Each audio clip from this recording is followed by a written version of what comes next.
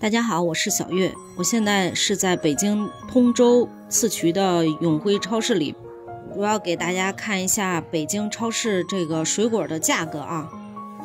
看这个砂糖橘是三块九毛九一斤，还是非常便宜的，而且比外面集上的有的集卖的都便宜。它这个红提是十块钱，因为反季节的这个东西可能就会贵一些。赣南几城是六块钱一斤，雪花梨是四块，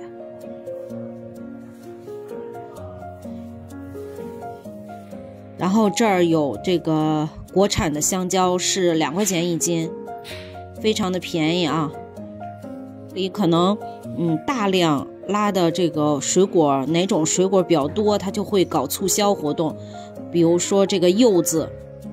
一块钱一斤，白心的柚子搞促销。套装的红富士苹果是五块钱一斤，这个价格还好哈。赣南几橙是五块钱，其他的橙子有的是，呃，就橙子分其他品种四块钱。然后这里的各种苹果，丑苹果是六块钱，金花牛苹果是四块钱，金帅苹果是五块钱，各种苹果啊。这里的千禧是九块钱，龙眼是八块钱一斤，然后看它这儿的这个红心的柚子是是两块钱一斤。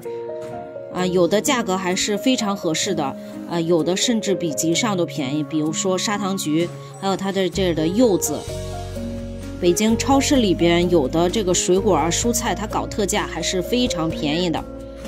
这个蜜橘是一块六毛九，丑橘是四块钱一斤，有的还是相当合适的。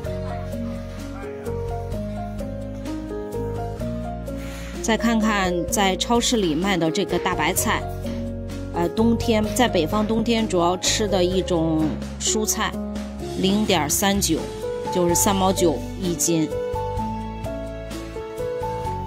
其实，在北京的生活成本不是特别高，我觉得啊，青辣椒五块钱，蒜黄七块钱，自己买来吃，做着吃。